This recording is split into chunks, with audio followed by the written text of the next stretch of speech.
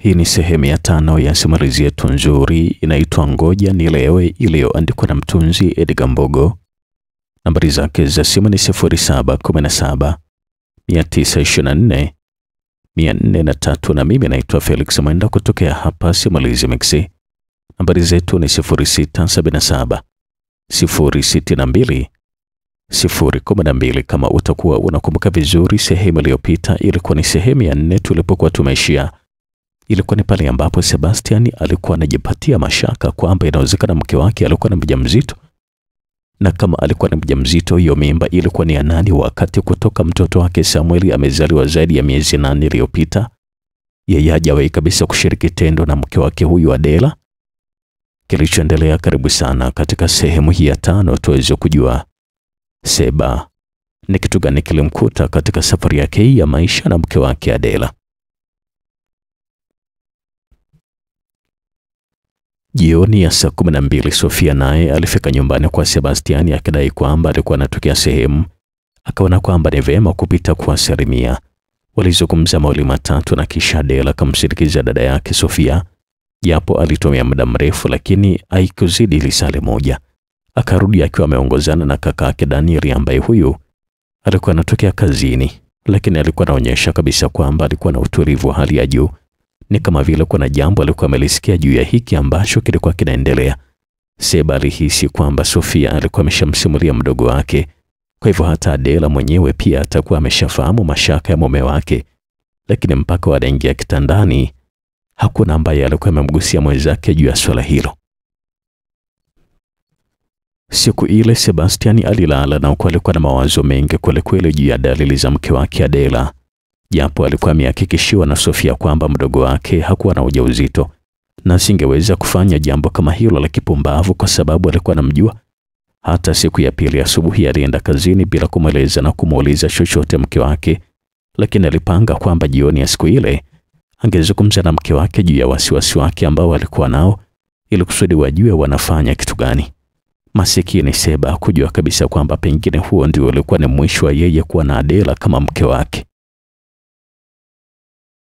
Sebastiani akiwa na shemeji yake Danieli walienda kimya kimya tu kazini, na huo wote walikuwa wanaonekana kuwa na mawazo mengi. Ni wazi kabisa kwamba hata Danieli alikuwa ameshajua kuhusu ujauzito wa dada yake na alikuwa anasubiria tu kuelezwa kilichokuwa kimetokea. Na hata walipovuka tu kivukoni, Danieli alimwomba shemeji yake amshushe. Samahani shemeji, nilikuwa naomba uniache hapa hapa, kuna mtu naonana naye kazini, nitakuja baadaye kidogo. Alizungumza vile Danieli na Seba akasimamisha gari. Danieli alifungua mlango na kushuka. Alafu Danieli, kuna ishu tutazungumza mida ya sha hivi, alizungumza vile Sebastian kabla hajaondoka. Hakujua kabisa kwamba huo ndio ulikuwa na mwisho wa yeye kuzungumza na Danieli kama shemeji yake. Ilikuwa hivi, Sebastian alipofika kazini kwake alikaa ofisini mpaka mida ya saa tatu kasoro asubuhi bila kumwona Danieli. Hata mida ya chai ilipofika akainuka na kuelekea kantini kunywa chai ambako alikutana na yule muhasibu mkuu yule. Eh, niambie Seba, swala lako linaendeleaje? Alizungumza vile muhasibu ambaye ni mtu mzima kidogo, ambaye huyu alikuwa anafahamika kwa jina la Mzee Ngimba. Yani kaka, hata sijui kusema kweli nizungumze kitu gani, lakini dalili zote zinaonyesha wazi kabisa kwamba mke wangu ni mjamzito, japo nimezungumza na dada yake, ameniambia kwamba itakuwa ni homa tu na kwamba mdogo wake aweze kutembea na mwanaume mwingine kwa sababu yeye anamjua kutoka akiwa mdogo. Alizungumza vile Sebastiani. Lakini dogo, kwa nini kesho usimpeleke wewe mwenyewe hospitali akapime? Zungumza na madaktari kwamba wampime malaria, lakini wamshike na ujauzito pia. Ni vyema kama utapata majibu wewe mwenyewe kuliko kukaa katika hali kama hiyo. Alizungumza vile mzee Ngimba na Sebastiani alikubaliana naye. Wazo zuri sana hilo mzee wangu. Basi wacha niombe ruhusa ili kusudi kesho nifanye hivyo. Alizungumza vile Sebastian ambaye huyu hakujua kabisa kwamba hilo alikuwa amelichelewa, kwa sababu wakati wanatoka pale kantini kunywa chai akiwa na mhasibu mkuu, mara alishangaa kuona kulikuwa na gari la polisi lilikuwa limesimama nje ya lango kuu la ofisi ile, na huku polisi kadhaa walikuwa nje ya gari pamoja na meneja wa kiwanda. E, e, ni, ni yule pale, yule pale alizungumza vile meneja, na huku alikuwa anaonyesha kidole kule ambako walikuwa wanatokea wao. Ni wazi kabisa kwamba alikusudiwa mmoja kati ya Seba na mzee Ngimba, nao walishangaa kwelikweli, kwa sababu hawakuwa na kumbukumbu ya kutenda kosa lolote lile. Hapo sasa walioona polisi wawili walikuwa na yule meneja wao, walikuwa wanaanza kuja upande ambao walikuwa wanatokea wao, na walipowafikia wakasimama mbele yao. Huyu hapa ndio mwenye ofisi anaitwa Sebastiani Samueli, alizungumza vile meneja mkuu, na huku wote walikuwa wanamtazama tu Sebastiani. Bwana Sebastian uko chini ya ulinzi kwa kosa la kupatikana na bangi ndani ya ofisi yako, na kama hautoleta ushirikiano, nguvu itatumika kukufikisha kituoni, alizungumza vile mmoja kati ya wale polisi na kuacha midomo wazi Seba pamoja na mzee Mgimba. Jamani, mimi, bangi ofisini kwangu? Kutoka lini mimi naweka bangi kwenye ofisi yangu? Alikuwa anazungumza vile Sebastian kwa kulalamika, lakini hakuna hata mmoja ambaye alikuwa anamsikiliza zaidi. Hata meneja na mwasibu mkuu pamoja na wafanyakazi wengine walikuwa wanaonekana kushangaa tu juu ya tukio hilo. Seba akabebwa na polisi, na wakati wanaondoka akakumbuka jambo. Samade mhasibu, utampatia hii funguo Danieli akija, mweleze kila kitu ambacho kimetokea, ni shemeji yangu yule, alizungumza pale Sebastiani, na huku alikuwa anakabidhi funguo ya gari kwa mwasibu mkuu. Mbona Danieli kuwa muda mrefu tu? Alizungumza vile moja kati ya wafanyakazi ambaye alikuwepo katika eneo hilo. Sebastian hakuzingatia sana jambo hilo wala hakujiuliza kabisa ni kwa nini kama Daniel alikuwepo muda mrefu hakuonekana ofisini, kwa sababu tayari alikuwa katika mkasa mzito. Saa moja na robo Adela alikuwa anasikia mongoromo wa gari ukiingia pale nyumbani. Anafungua mlango haraka haraka na kukimbilia kwenye gari. Anamwona Daniel alikuwa anashuka kutokea kwenye siti ya dereva. Usiniambie kabisa Daniel kama umefanikiwa, anazungumza pale Adela kwa sauti ambayo ilikuwa na kioro hivi. Unadhani ni mchezo? Mipango ya watu wazima haiwezagi kabisa kushindwa hiyo. Anazungumza pale Daniel kwa sauti ya majisifu na kujimwamba fai, na ukweli alikuwa anazunguka nyuma ya gari, akafungua mlango nyuma kabisa. Wewe unasema kweli Daniel? Adela anashangilia kwa nguvu na huku anamlukia Daniel mgongoni katika hali ya furaha iliyokuwa imepitiliza kabisa. Kwa nini nikudanganya Dela? Mtu wako sasa hivi yuko maabusu anasubiria tu kuingia mahakamani. Anazungumza vile Daniel na huku alikuwa anashusha sanduku ambalo lilikuwa limejabia.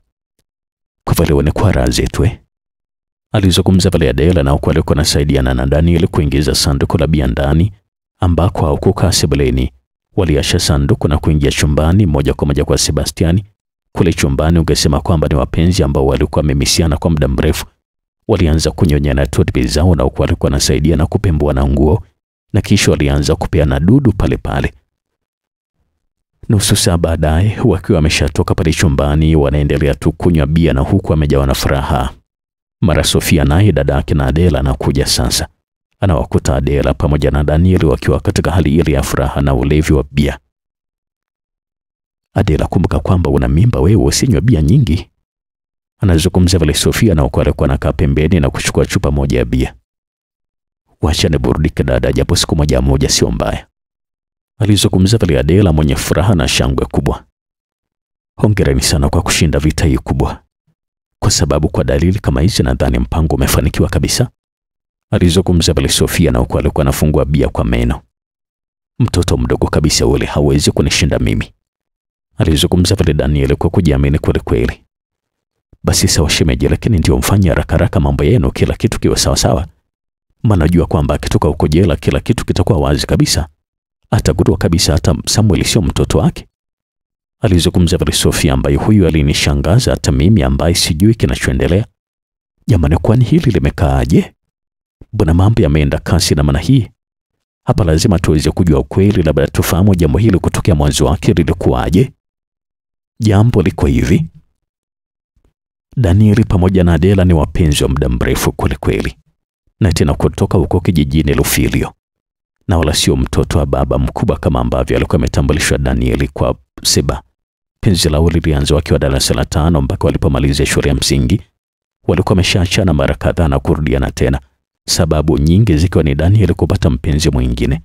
Hata anapoachana na mpenzi mpya hakuwa na kazi ngumu kurudiana tena na Adela, ambaye huyo kwa kiasi kikubwa alikuwa anampenda sana bwana Daniel.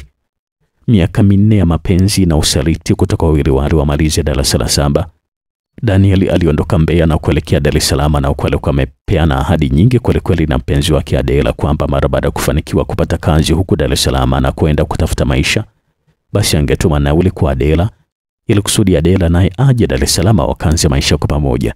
Hakika waliamini kabisa kwamba Dar es Salaam maisha ni marahisi mno, japo ni kama msemo huu una ukweli ndani yake, kwa sababu maisha ya Dar es Salaam utafanikiwa endapo utaitambua nafasi yako.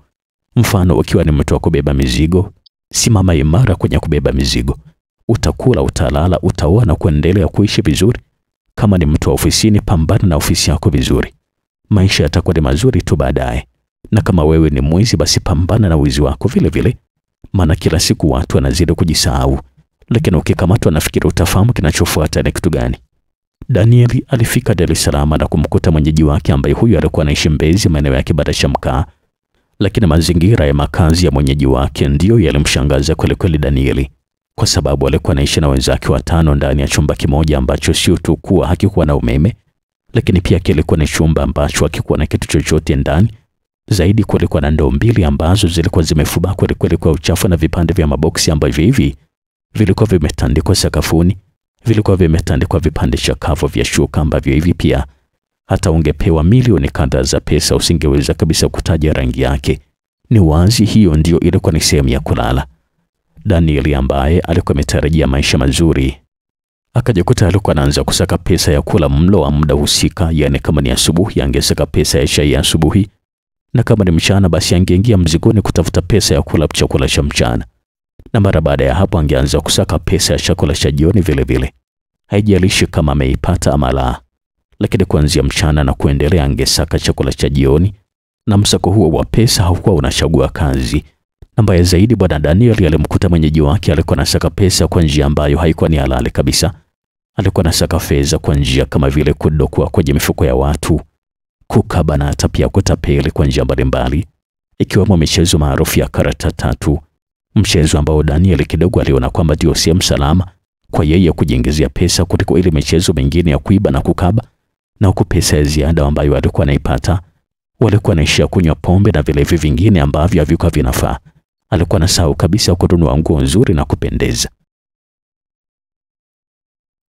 Siku zilikuwa zinakwenda mbele tu na hatimaye miaka mitatu ilipita. Danieli alikuwa anaishia kupata pesa ya kula tu miaka yote japo tayari alikuwa ameshapata uwezo wa kujiamini na kuanza kuiba na kukaba. Tayari alikuwa ameshakamatwa mara kadhaa na jeshi la polisi, ikiwa ni kwa makosa hayo hayo na yale ya udhurulaji, ambapo alikuwa anaishia kituo cha polisi na kuachi watu. Lakini hiyo haikuishia hapo. Mara mbili Daniel ameshawahi kufungwa katika gereza la Ukonga, moja akisalia Ukonga kwa miezi sita na moja akipelekwa Mvuti kwa miezi saba. Ni mara baada ya kukamatwa na hatia ya kuiba kwenye duka la raia mmoja Mbezi kwa Msuguri. Siku chache mara baada ya kumaliza kifungo chake, Danieli ambaye sasa anaanza kazi ya kuita abiria pale stendi ya daladala ya Mbezi Mwisho, anakutana na dada yake wa Adela ambaye ni Sofia, ambaye huyo sasa anamjulisha juu ya ujio wa Adela, ambaye huyo licha ya kuaga kijijini kwa Urufilio kwamba anakuja kutafuta kazi, lakini ukweli ni kwamba lengo lake Adela kuja hapa Dar es Salaam ilikuwa ni kumfuata mpenzi wake huyu Danieli, na kwa msaada wa Sofia wanafanikiwa kukutana nyumbani kwa Sofia, yani pale ambapo alikuwa amepanga wote wana hamu ya kunyanduana kwelikweli. Bahati nzuri dada anawachukua watoto na kuondoka nao na kuachia nafasi wawili wale wapate kuzungumza kuhusu maisha yao na kwamba wataenda kuishi wapi na ni lini Danieli angekuja kumchukua Adela, kwa sababu tayari Adela alikuwa ameshakuwa mzigo kwelikweli hapa nyumbani kwa dada yake. Ukweli Danieli hakumficha kitu chochote kile. Adela alimweleza ukweli kabisa juu ya maisha yake hapa Dar es Salaam. Lakini Adela, kwa nini umekurupuka kuja huko Dar es Salaam wakati hujui kabisa mwenzako anaishi vipi? Yaani mimi kula yangu tu ni ya taabu, kuvaa ndio kama hivi. Unadhani mimi nitaweza vipi kukutunza wakati hata sehemu ya kukaa tu nakaa na kina Rusajo kwenye chumba kimoja kibovu tu? Alizungumza vile Daniel kwa sauti ya kulalamika hivi. Sawa basi, mimi naomba nigetu nauli nirudi zetu Mbeya. Aliitikia vile Adela kwa roho shingo upande, na huku sauti yake ilikuwa imejawa na unyonge wa hali ya juu kabisa. Sawa basi, mimi nitakutafutia nauli, nikipata tu nitakuletea. Alizungumza vile Daniel, ambaye huyo ukimtazama hata wewe ungetambua kabisa kwamba kuipata hiyo elfu kumi na mbili tu ya nauli toka Dar es Salaam mpaka Mbeya kipindi hicho ingekuwa ni kazi ngumu kwelikweli, kweli. kwa sababu hata yeye mwenyewe mwonekano wake ulionyesha wazi kabisa kwamba alikuwa anahitaji pesa. Maongezi yao yaliisha kwa kupeana dudu mle mle ndani ya chumba cha dada yake Sofia, na kisha Adela akamsindikiza mpenzi wake Danieli, na huko njiani walikuwa na pia na matumaini ya kwamba ipo siku atafanikiwa kimaisha na watakuja kuishi pamoja katika nyumba yao, ndoto ambayo waliota toka kipindi kile ambacho Danieli alikuwa anatoka Mbeya, wilaya ya Rungwe, kijijini Rufilio. Kutokana na jinsi Sofia alivyokuwa amemwona Danieli, aliamini kabisa kwamba hapakuwa na maisha kati yao zaidi ya Dela tu angeingia katika maisha ya tabu zaidi, lakini hakuwa na lolote la kufanya kwa sababu hapakuwa na ubishi kwamba mdogo wake alikuwa ameshampenda kwelikweli Danieli, na alikuwa analijua hilo kutokea wale wale wakiwa wadogo kabisa. Hata sasa aliona wazi kabisa jinsi Adela alivyokuwa amepata tabu siku ambazo zinapita bila Daniel kuonekana kuja kumtembelea, japo alikuwa hajawahi kabisa kupitisha siku tatu ama nne bila kuonekana nyumbani kwa Sofia, na alipokuwa anakuja tu Sofia angewapisha na kuachia nafasi ya kupia na dudu, japo ilikuwa ni mzigo kwao, kwa sababu Danieli ambaye hajawahi kabisa kuja na kitu chochote pale nyumbani alikuwa anahakikisha akija hapa kwa Sofia alikuwa nakula milo yote miwili kama ipo na mwisho wa dela angemsindikiza mpaka stendi ambako Danieli anazukazuka tu na kupata lifti ya daladala akiwa kama mpiga debe mzoefu wa Mbezi Mwisho. Ratiba hiyo iliendelea tu kwa muda wa mwezi mmoja mbele, ndipo sasa Adela alipojikutua kwamba alikuwa na mjamzito, akamweleza dada yake ambaye sasa aliona kwamba mdogo wake anaenda kutaabika, kwa sababu baba wa mtoto huyu alikuwa ni Daniel ambaye alikuwa hana A wala B, na yeye asingeweza kabisa kuishi naye siku zote pale nyumbani maana hata yeye mwenyewe pia na watoto wake tu maisha yalikuwa ni magumu, mara kuongeza na Adela na mtoto atakayezaliwa pia, basi ingekuwa ni bala zaidi. Hebu mweleze basi kusudi ya juu atafanya kitu gani juu ya huyo ujauzito. Alizungumza Sofia na Adela akafanya vile. Siku moja jioni, wakati Adela anamsikiliza Danieli, alimweleza ukweli kabisa juu ya ujauzito ambao alikuwa nao. Una uhakika kweli Adela kwamba hiyo mimba ni yangu mimi? Yanaukakaa sijui mwezi mmoja na nusu, unanieleza kwamba tayari umeshashika ujauzito kweli? Aling'aka vile Danieli ambaye huyu hakutaka kukubali ile mimba kirahisi, licha ya kumsihi na ukweli alikuwa anatoka na machozi, lakini bado Danieli hakutaka kabisa kukubaliana na Adela. Hata safari ya kusindikizana ikaisha pale pale na kila mtu akashika njia yake. Danieli alielekea stendi na huku Adela alikuwa anarudi nyumbani na huku alikuwa anatokwa na machozi. Alipofika nyumbani, Adela akamsimulia dada yake kila kitu na akamweleza kwamba Danieli alikuwa amekataa kabisa kwamba mimba sio yake. Jamani, Adela, na wame kubali vipi kubeba mimba ya Daniel hali ili hali hali yake yenyewe ndio kama hivyo anaijua kabisa? Yana mtu mwenyewe ni mtu hovyo kabisa, ana mbele wala nyuma. Wenzako akija hapa Dar es Salaam wanabadilika. Ay, sasa tunafanyaje? Alizungumza pale Sofia kwa sauti ya lawama yenye kukata tamaa hivi. Jamani dada, mimi sikujua kabisa kama itakuwa hivi. Alizungumza pale Adela na huku alikuwa anaangua kilio cha chini chini hivi. Hapa kuna ujanja kabisa mdogo wangu. Inabidi tu tukusaidia kutafuta na wale kusudi urudi kijijini basi. Wenyewe unaona kabisa jinsi maisha yalivyo magumu hapa. Alizungumza pale dada yake na Adela, yaani huyu wa kuitwa Sofia. Wawili hawa walikubaliana hivyo kwamba Adela aende Mbeya akakae na ujauzito wake, lakini shida ilikuwa ni vipi watapata hiyo nauli, wakati pesa ya kula yenyewe ilikuwa ni shida, na walikuwa wanamtegemea bwana Filipo Mazinge peke yake kutafuta pesa ya kula kupitia kazi yake ya vibarua vya ujenzi kama kusaidia fundi, kazi ambayo kuna siku alipata na kuna siku alikuwa nakosa. Njia rahisi ambayo ilikuwa inaonekana kwamba inafaa ilikuwa ni kwa Adela kutafuta kazi ya ndani ambayo hii kipindi kile ilikuwa ni maarufu kama yaya, yani kwa sasa hivi watu wanaita house girl, kazi ambayo alipanga kama itapatikana basi afanye kwa muda wa miezi mitatu, ambapo mimba itakuwa imefikisha miezi minne, naye atakuwa ameshapata fedha ya nauli kurudi kwa Rufilio huko Lungwe, Mbeya. Lakini hiyo haikuwa ni rahisi kama ambavyo alikuwa anapanga. Kila nyumba ambayo alikuwa anakwenda kutafuta kazi hiyo ya uyaya hawakuwa wanahitaji dada wa kazi na bahati mbaya iliyoje ni kwamba hata Danieli hakuonekana tena kutembelea pale nyumbani kwa kina Adela. Hiyo sasa ilizidi kumkatisha tamaa zaidi ya Adela na kujua kabisa kwamba anaenda kulia mtoto peke yake. Haikuwa ni picha nzuri kabisa kwa wazazi wake wala wanakijiji wengine ambao watatoa tafsiri ya kwamba Adela alikuwa amekwenda mjini kufanya tabia mbaya, ambayo hii ndio imemsababishia mimba ya mtoto ambaye baba yake hajulikani, kwa sababu tayari mwenye ujauzito alikuwa ameshaukataa. lakini bahati yake, mwezi wa pili kabla haujaisha, alikutana ndio na Sebastiani ambaye huyu alifanikiwa kumwingiza mkenge masikini ya Mungu na kumkabidhi ujauzito ule ambao haukuwa ni wake, na huku alikuwa anafuata maelekezo ya dada yake ya kumpatia unyumba Sebastiani kila siku ili kusudi ionekane ile mimba ni ya kwake, kitu ambacho sio Adela wala Sofia walichokuwa na kijua ni kwamba siku mbili kutokea waonane na Danieli. Danieli alikuwa ameshawishiwa na Lusaji wakaibia kwenye duka moja la nguo pale Mbezi, na walijipanga kabisa kwenda kutekeleza wizi huo katika duka hilo ambalo hawakujua kabisa kama lilikuwa linalindwa na mlinzi mmoja ambaye huyo amepitia mafunzo timamu ya mgambo, ambaye alipowaona tu akapiga firimbi iliyofuatiwa na kundi la walinzi wa maduka ya jirani waliokuwa wamewazingira kina Danieli na kuanza kuwashambulia palepale. pale. Danieli aliweza kushuhudia rafiki yake Rusajo pamoja na wenzake walikuwa na uawa palepale, pale, na huku yeye alikuwa anaukaliwa na polisi wa doria ambao hawa waliwahi kufika katika eneo la tukio ambapo walimfikisha kituo cha polisi na baadaye alifunguliwa kesi ya wizi ambapo kesi yake iliendeshwa kwa muda wa mwaka mmoja. Siku zote alikuwa na kama abusu ya gereza la Ukonga. Hata mwisho wa siku ulikosekana ushahidi mara baada ya ule mgambo ambaye alikuwa amemkamata kukosekana mahakamani, naye akaachiwa huru na kurudi Mbezi ambako alikuta chumba kile kilikuwa kimeshakarabatiwa na kuna mtu alikuwa amepangishiwa. Kwa alianza kulala pale stendi, na huku alikuwa anajaribu kutafuta pesa kwa kupiga debe na kubeba mizigo pia maeneo ya soko la pale Mbezi. Wakati ule tayari Adela alikuwa ameshajifungua mtoto Samueli, na kitu ambacho dada yake Sofia alikuwa anamsisitiza ilikuwa ni kutunza afya ya mtoto na kuepusha mume wake asije akagundua kwamba mtoto sio wa kwake, kwa sababu kikawaida wanasema kwamba kuna vitu lazima vitokee kama mwanaume ataendelea kutembea na mwanamke ambaye ananyonyesha na mtoto sio wa kwake. Siku moja bwana Danieli akiwa katika harakati zake za upigaji wa debe ndipo sasa alipopita Roida. Huyu ni mwanamke mmoja ambaye walisoma naye shule ya msingi, lakini yeye kwa bahati aliendelea tu na masomo ya kidato cha kwanza mpaka cha nne, na sasa alikuwa ni mwalimu wa shule ya msingi Uyole.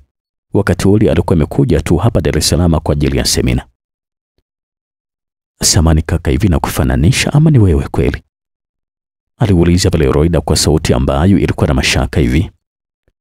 Oh, Roida ni wewe? Hujanifananisha kabisa mimi, mimi Danieli alizungumza pale Danieli kwa sauti ambayo ilikuwa na kujawa na uhakika kwamba yeye ndiyo mtu sahihi ambaye alikuwa amekusudiwa. Jamani, habari za masiku Danieli, alisalimia vile Roida, na huku alikuwa anamtazama tu Danieli kwa macho fulani hivi ambayo kwa mtu ambaye unajitambua ungejua kabisa kwamba yalikuwa anazungumza kitu fulani hivi. Nzuri tu, vipi, unaishi hapa hapa Dar es Salaam au umekuja tu mara moja? aliuliza vile Danieli, ambaye ukimwona nguo ambazo alikuwa amezivaa ungesema kwamba alikuwa ametokea kijijini leo hii.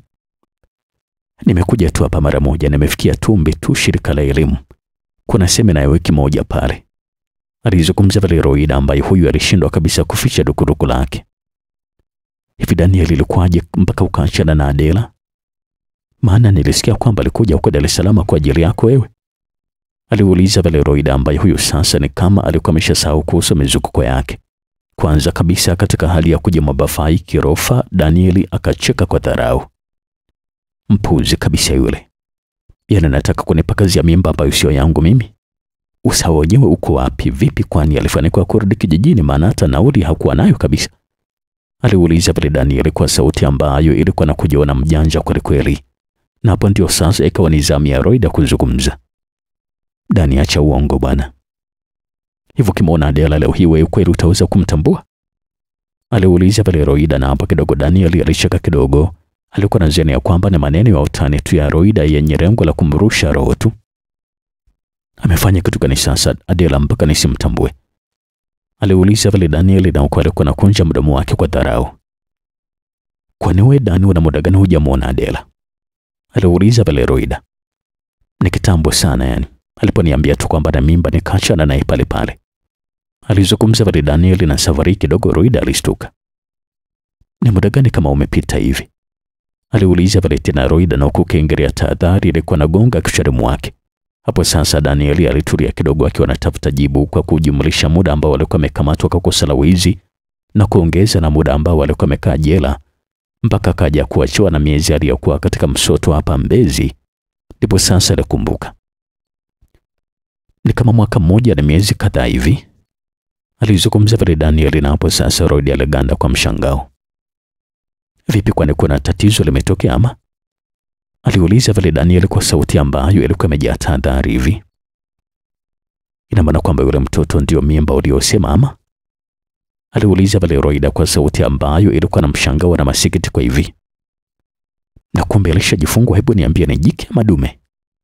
aliuliza vile Daniel kwa sauti ambayo ilikuwa na furaha na majisifu. Ni wa kiume, lakini mbona ameolewa na wanasema kwamba yule mtoto ni wa mwanaume ambaye amemwoa na wanaishi huku huku Dar es Salaam? aliuliza vile Roida ambaye huyo mshangao wake haukuweza kabisa kufichika. Eti nini unasema kwamba ameolewa? aliuliza vile Daniel kwa mshangao uliokuwa na waivu hivi. Na hapo ndipo sasa Roida akaanza kumsimulia jinsi Adela alivyofika kule kijijini kumtambulisha mume wake ambaye ni mtu mwenye pesa za maana. Na tena walipokuja kule kijijini walikuja na gari lao kabisa. Walikuja na dadake Sofia na watoto wake wawili. Walileta mazawadi kibao kwa mama yake.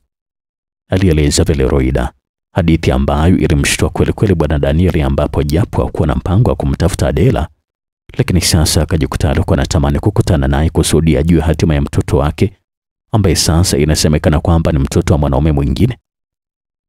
Yule nakwambia kabisa Dani, sasa hivi Adela amependeza kweli kweli, ni mke wa tajiri mkubwa tu sasa hivi, alizungumza vile Roida kabla ajaga na kuondoka zake.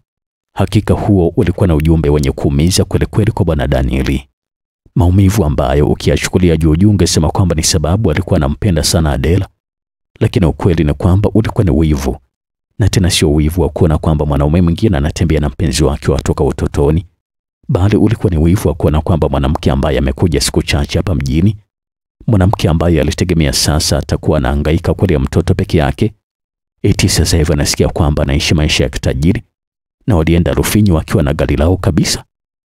Ukweli siku hiyo haikuweza kumalizika kabla Danieli hajadandia daladala mida saa saba za mchana na kuelekea Kibamba kwa Mangi, ambako alienda moja kwa moja kwenye nyumba ya zamani ambako Sofia alikuwa amepanga, ambako alielekezwa nyumba ambayo alikuwa anaishi sasa hivi, na alifanikiwa kufika bila tabu yoyote ile.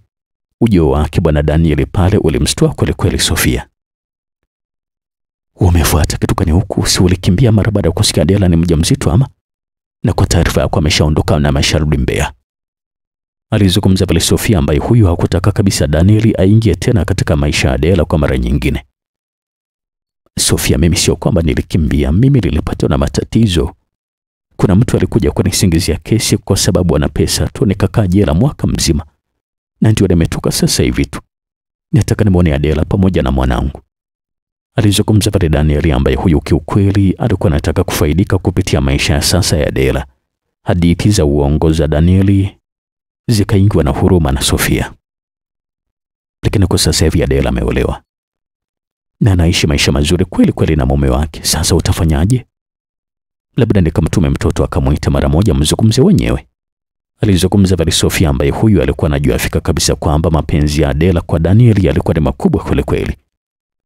Lisali moja baadaye, Adela alikuwa ameshafika nyumbani kwa dada yake Sofia, na huku alikuwa amembeba Samueli. Moyoni hamu ya kumwona mpenzi wake Danieli ilikuwa ni kubwa, na alipofika tu Danieli hakuwa na haja ya kumwona mtoto. Sofia akamchukua mtoto na kutoka nao akiwa ameongozana na watoto wake, akiwaachia nafasi wawili hawa kunyanduana. Walifanya hivyo kwa furaha kubwa kwelikweli. kweli. Walitumia masaa kadhaa na kisha walioga na kusindikizana stendi, ambapo daniel ilipanda daladala huku akiwa amepewa shilingi elfu tano. Huo ndio alikuwa ni ufufuo wa penzi lao jipya la ushariti ambalo sio tu kufanyika kwenye nyumba ya Sofia ambaye hakukumbuka hata msaada waliopewa na Sebastiani, lakini pia usaliti huu ulikuwa unafanyika nyumbani kwa Adela mwenyewe kabisa, na huku dada wa kazi alikuwa anapewa ruhusa ya kwenda kutembea asione kile ambacho kilikuwa kinaendelea. Mapenzi kusema ukweli yalikuwa motomoto kweli kweli, na kuwa hata wakanogewa na kunogewa tena kiasi cha kushirikiana na Sofia kupanga mbinu ya kumleta Daniel nyumbani kwa Sebastian pale pale wakisingizia kwamba Daniel alikuwa ni mtoto wa baba yao mkubwa. Seba akiwa hajui hili wala lile, alimkaribisha Daniel kama shemeji yake nyumbani kwake, na hapo ndipo sasa alipokuwa amekaribisha ndoa ya mitara ya wanaume wawili ndani ya nyumba moja. Adela sasa alikuwa ameshamfukuza dada wa kazi asije kufichwa kile ambacho alikuwa anafanya. Usiku alikuwa analala na mume wake Sebastiani, na huku alikuwa anageuziana migongo tu kwa kizikizio cha kwamba yeye alikuwa ananyonyesha, na huku alikuwa hatakiwi kabisa kufanya mapenzi na huku mchana wote wakati Seba akiwa kazini walikuwa anatumia nafasi ile kufanya kile ambacho alikuwa anafanya kama wapo kwenye fungate hivi. Mara baada ya kukaa miezi kadhaa na Sebastiani kumtafutia kazi Danieli, ambaye huyu alikubali kwa shingo upande, kwa sababu alikuwa anapata kila ambacho alikuwa anahitaji. Alikuwa anakula vizuri, na siku moja moja alikuwa anatolewa matembezi na mume mwenzake, ambaye huyu walikuwa anaitana shemeji, lakini pia alikuwa ananunuliwa nguo, na kubwa zaidi alikuwa analelewa mke na mtoto wake mwenyewe, na pia alikuwa na uhakika wa kula kitumbua kila ambapo alikuwa anahitaji. Taarifa za kwamba Adela alikuwa na ujauzito mwingine ziliwashtua kweli wote watatu, yaani Adela, Danieli pamoja na Sofia. Nao walikaa kwa pamoja kusudi kujadili wafanye kitu gani kusudi Sebastiani asigundue na kuachana na Adela. Na ukizingatia toka mtoto alipokuwa anazaliwa na sasa anatimiza miezi nane, Sebastiani alikuwa hajawahi kabisa kupitisha mwiko kwenye chungu cha mke wake Adela. Jibu lililokuwa limepatikana kwenye kikao hiki cha watu watatu ni kwamba hakukuwa na njia nyingine, lazima mimba ile yasingiziwe tena Sebastiani, kwa sababu sio tu kubadilisha maisha yao, lakini pia alikuwa ni msaada mkubwa kwelikweli kweli kwao na kwa wazazi wao kule kijijini. Lakini sasa kila pale Adera alipokuwa anajaribu kumshawishi Seba kula kitumbua, bado ilikuwa inashirikana. Hata baadaye dalili za wazi kabisa zilianza kuonekana, na kilichokuwa kimewashtua zaidi ilikuwa ni siku ambayo Sebastian alikuwa anatoka kazini mapema na kwenda kuzungumza na Sofia, ambaye huyu alimhakikisha kabisa kwamba Adela hawezi kuwa na ujauzito ambao utakuwa ni wa nje.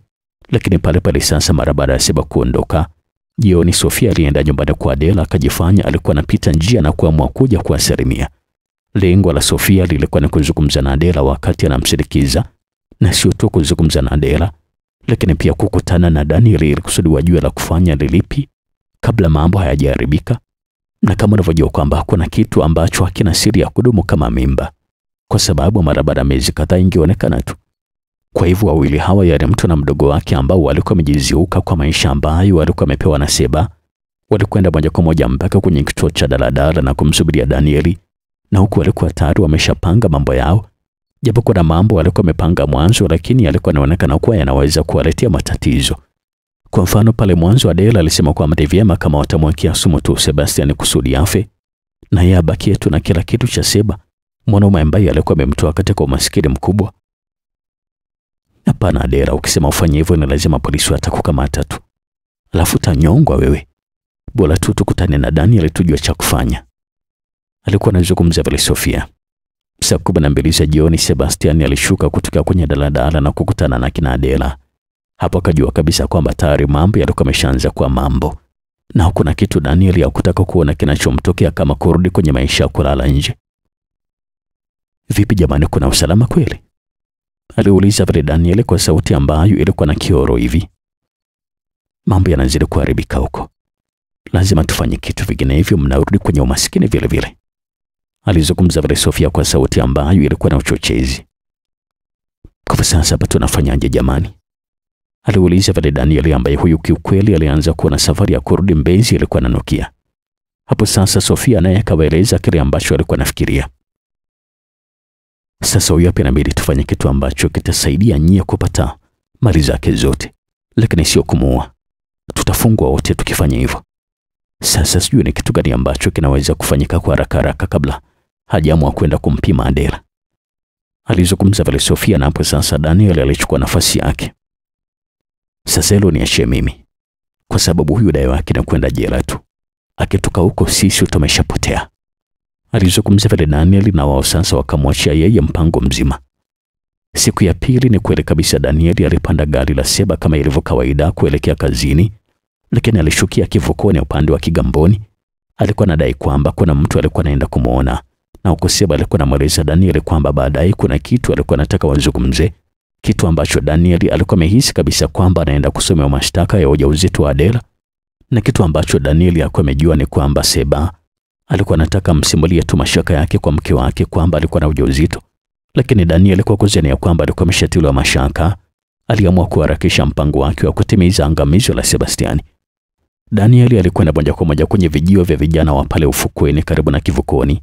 Alichukua keti ishirini za bangi akaziweka kwenye mfuko wa rambo na kisha alipanda daladala na kwenda kushukia karibu na eneo la kiwanda ambako alikuwa anafanya kazi, ambapo aliingia ndani ya kiwanda akitumia njia ya panya ambayo hii mara nyingi huwa inatumiwa na watu waliochelewa kuingia kazini ama watu wale ambao wanawahi kutokea kazini bila ruhusa ya mkuu wa kitengo chake husika. Japo alikutana na watu wawili watatu ambao walikuwa wanatoroka, lakini hawa hawakuwajali kabisa. Yeye alikwenda moja kwa moja mpaka idara ya uzalishaji ambako huko alijibanza huko na huko mara kwa mara alikuwa anashughulia upande wa ofisi ya mwasibu wa masoko, yani ndio ofisi ya bwana Sebastian, kuona kama alikuwa anatoka ili kusudi yeye awahi na kwenda kufanya jambo lake.